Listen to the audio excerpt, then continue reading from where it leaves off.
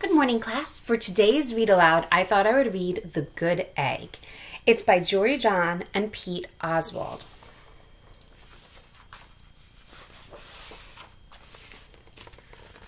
Oh, hello. I was just rescuing this cat. Know why? Because I'm a good egg. A very good egg.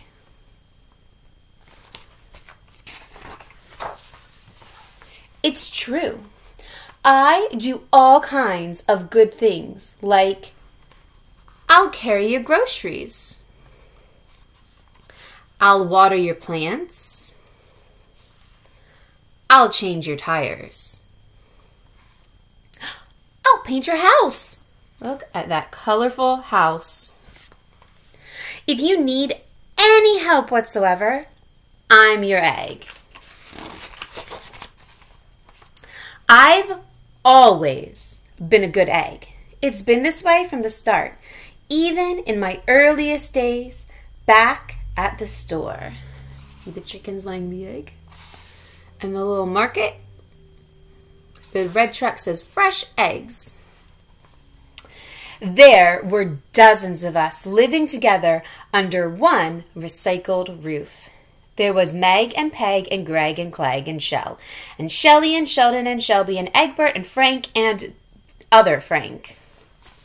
See all the eggs with him in his carton of eggs?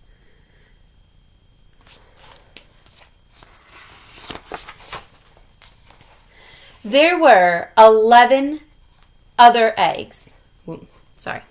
The 11 other eggs weren't on their best behavior. They weren't exactly good.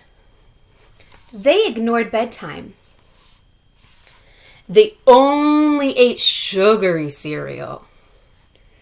They threw tantrums. They cried for no reason. And they broke their stuff on purpose.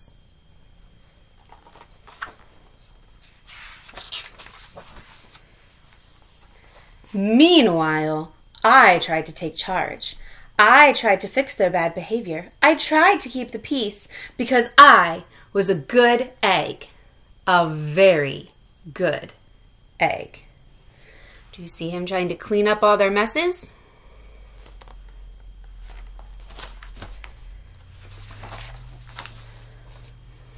Nobody seemed to care though.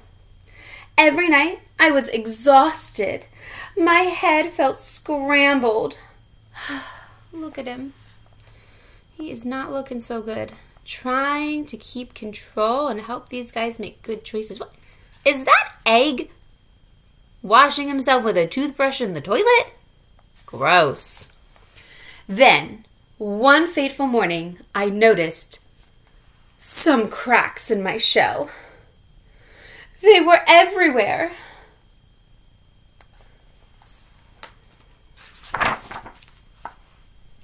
My doctor said it was from all the pressure I was putting on myself, the pressure of making sure everybody was as good as me. I was cracking up. Literally, something had to change. I'd had enough.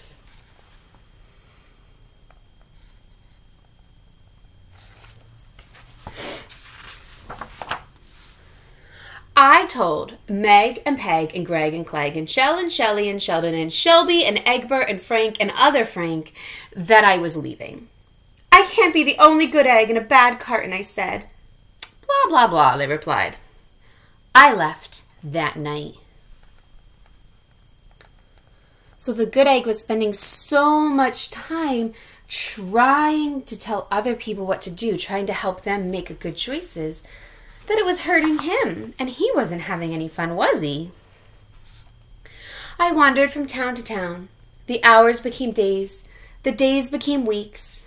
I lost track of time. I was alone. Look, he's grown a little egg beard.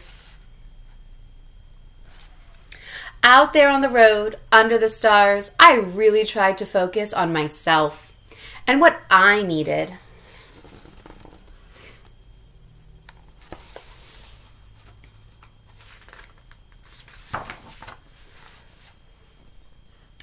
Walks. I read books. I floated in the river. Mm, that looks relaxing with the pink flamingo. I wrote in my journal. I found simple moments to be quiet. Is he doing his meditation like we do? I breathed in. I breathed out. That bubble bath. I even started painting.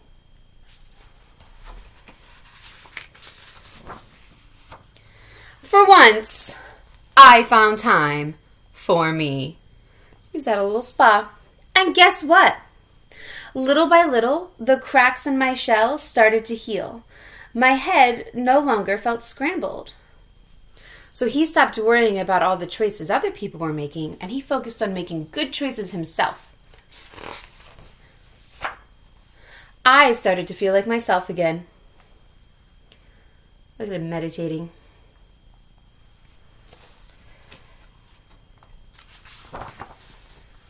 So I've made a big decision. I'm returning to my old carton and my friends. Besides, I'm kind of lonely out here. This time, I know what I need to do. I'll try not to worry so much.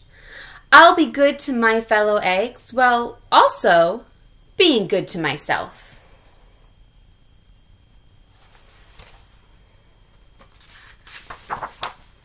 Here we go. Look at him walking back into the market.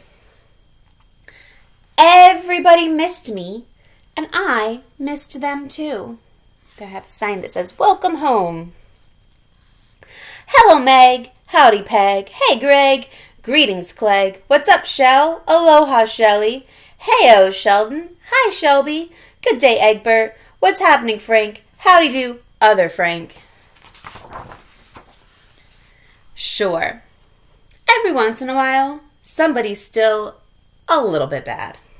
But it's not like before. Here's what I realized the other eggs aren't perfect, and I don't have to be either. I'm okay with that.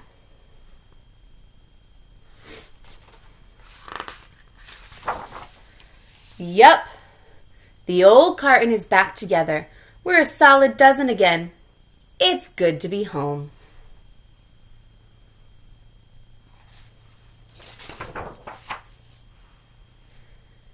And there's the fly pages. It's all sorts of breakfast foods, isn't it? Donuts and waffles. Mrs. Grim's two favorite. A croissant, eggs, toast, a muffin, more donuts. What these are. Maybe they're blueberries.